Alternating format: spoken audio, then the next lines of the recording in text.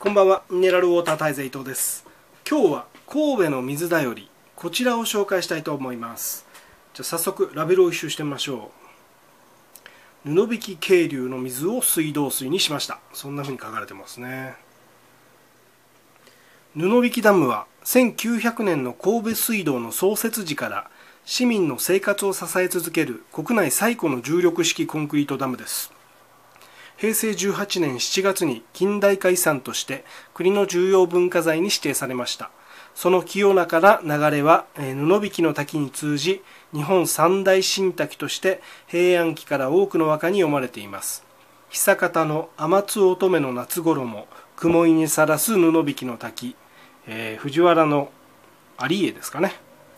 えー、六甲山系の豊かな自然に育まれた布引渓流の水はかつて赤道を越えても腐らない美味しい水と世界の船乗りに称賛されました。現在では環境省の名水百選に選ばれています。って書いてますね。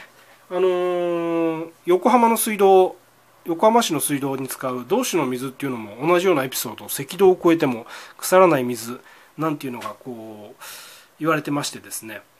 あの日本を代表する2つの横浜、えー、神戸みたいなこの2つの大きな港ですね、えー、から、えー、旅立つ出港する船乗りたちが愛した水っていうのは今なおですね、えー、歴史の中で生き続け今現代もこういうふうに愛され続けているっていうのがとても面白いなと思いますね。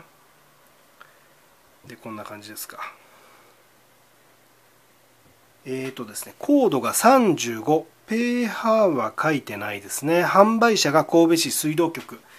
えー、っとですね、採水値は書かれていませんが、まあ、これは神戸市になるんですかね。えー、売上金の一部は水源環境の保全に活用されています。まあ、つまり、この水をですね、買うだけで、えー、寄付されると。水源環境のために使う、使われるということですね。ですからまあ特に意識せずにですねこの水を飲みさえすれば買いさえすれば、えー、環境保全に協力できるということなので、えー、気軽にこう何て言うんですか協力していることになるというかこういう感じはとてもいいと思います。まあ、あえて例えば振り込むとか募金箱にお金を入れるとかいうんじゃなくてですね、えー、こういう無意識な感じの寄付っていうのがとてもいいんじゃないかなと私は思っています。こんな感じですね。まあ実はこれあの私関西までちゃんと行って買ってきたんですけども、えー、神戸市神戸市内で神戸市内でしか多分売ってないと思うんですよね。神戸市内でしか見たことがないので、まあ、もし他のところで見て、えー、他の地方の方がですね神戸市以外の方が買うんであれば見つけたのであれば是非買って飲んでみてください。とても飲みやすい水だと思います。よろしくお願いします。